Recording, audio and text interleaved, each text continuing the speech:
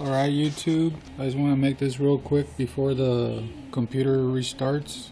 It's a Dell laptop, Inspiron 6000 and I had the white screen of death like they call it.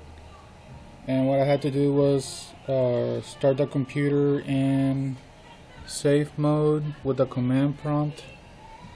And I just went to the Microsoft website.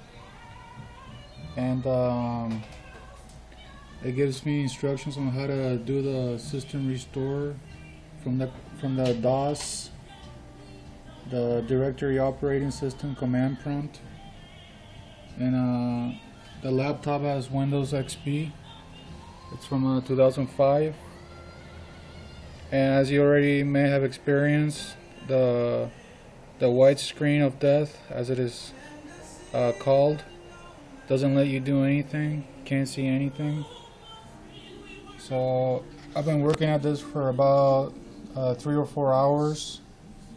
And it's just very simple. I figured out how to how to how to restore it. How to do a system restore.